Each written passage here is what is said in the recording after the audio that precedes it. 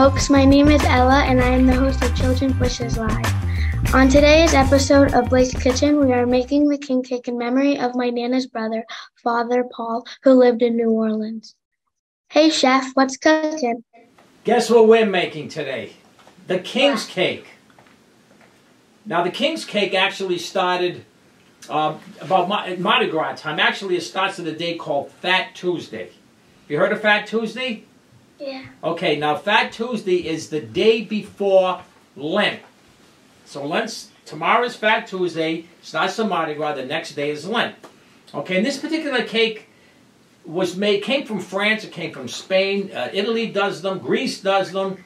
They all have their own. Now, when they were first made, there was nice crunchy puff pastry with almond filling.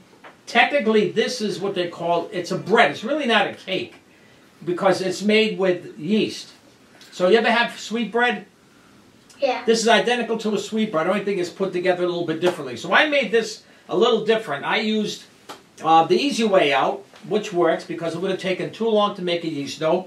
I'm using just some simple um, cinnamon raisin uh, rolls. Pillsbury to be exact. So what I'm going to do is I got these are two packages. So what I'm going to do is I'm going to build a circle. So I'm going to start taking one, and I'm going to just do overlapping slices. This is very, very easy to do. You're going to come right around. So technically there are 16 pieces with this. And I drove them crazy in the store trying to find these things yesterday. So once we get around this way, this way, it's going to spread this out a little bit. I'm doing this on a piece of aluminum foil that has some uh, pan spray on it. You have to because if not, it's going to stick and you're going to go absolutely crazy trying to get it off. So now you see I have a perfect circle. So this will go into an oven and it'll get baked and it will come out like this. Now this is interesting. This is a little plastic baby. This it generally gets inserted into the cake. Now if it was made with candy, we could put it into this at the beginning. You can't put plastic into this because it'll melt. So what you do with this, well, the person that takes this, this has two things. If the person that gets the piece of this cake with the baby in it, it's good luck. And that person has to host next year's party. So I'm going to take this and technically, I'm just going to, I buried it.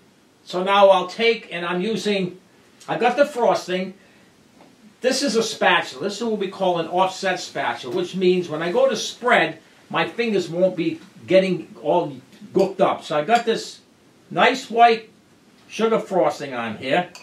And actually this is, I, I lemon flavored this because I like lemon, so it's very, very sweet. Normally this is made with cream cheese, almost like a carrot cake consistency.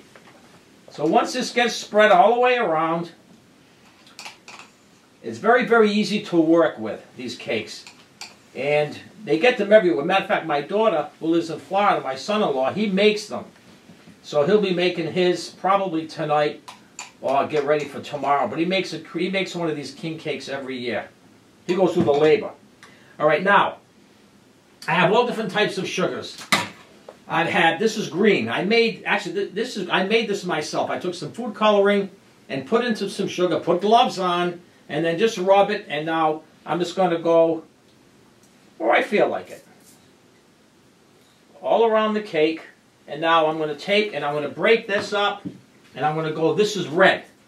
So I want to go in between with some red and this is how they sell these.